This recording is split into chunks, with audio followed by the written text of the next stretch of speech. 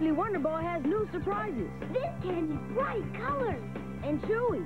I got candies that change color. And there's a hologram or a sticker that glows in the dark. Who knows what surprises a Wonder Ball can hide?